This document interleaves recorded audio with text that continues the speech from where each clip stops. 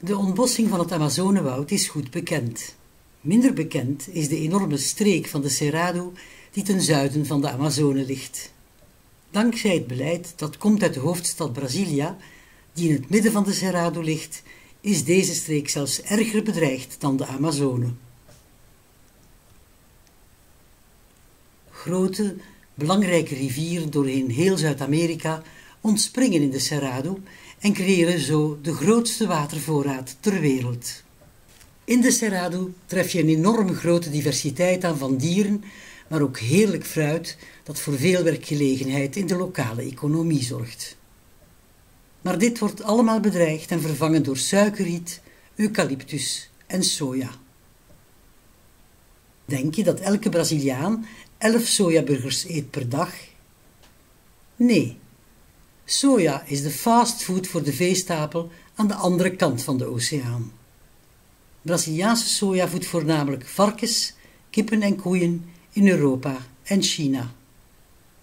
De globale handel in dit veevoer is in handen van slechts vier multinationals, het ABCD-monopolie.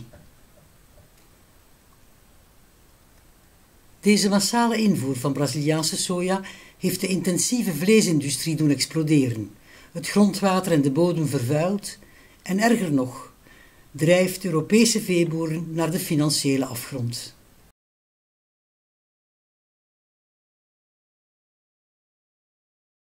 Goedendag, ik ben Wim Verstraten uit Koekelaren.